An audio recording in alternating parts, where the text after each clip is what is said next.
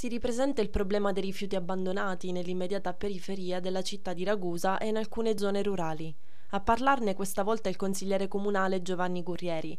Dobbiamo decidere una volta per tutte. Ai turisti vogliamo far vedere monumenti barocchi o cumuli di rifiuti che creano pian piano vere e proprie discariche abusive? È questo quanto reclama, sollevando nuovamente un problema che già nei mesi scorsi era stato oggetto di intervento anche in Consiglio comunale. Comprendo benissimo, afferma il consigliere d'opposizione, che la presenza di rifiuti abbandonati non è di certo responsabilità del sindaco e della sua amministrazione, ma il recupero di questi rifiuti, la bonifica di questi siti, sono invece competenze del comune.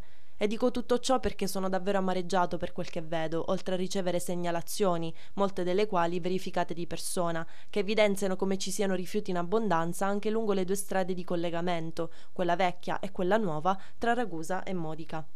Si tratta dunque di una strada di collegamento ad alta fruizione che viene utilizzata anche dai turisti che scelgono di visitare due centri barocchi, due città che hanno monumenti patrimonio dell'umanità, che sono sempre più frequentate dai visitatori e giocano ormai un ruolo importante. Gurieri ricorda poi come la questione rifiuti abbandonati è ormai un problema che prosegue da molto tempo.